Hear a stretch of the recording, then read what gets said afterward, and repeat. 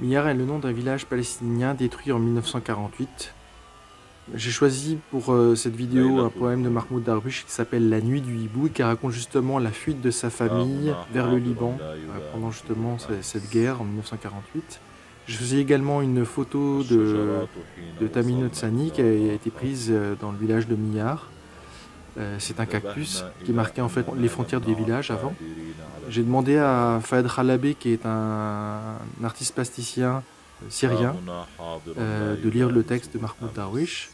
Et du coup, euh, j'ai rassemblé un peu les trois euh, en utilisant des effets qui, pour moi, sont assez suggestifs justement de, de cette mémoire, de ce lieu qu'on essaie de se représenter, de se réapproprier.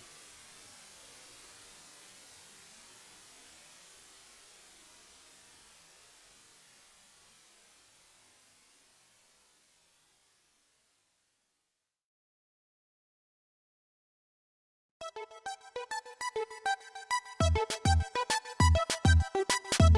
you.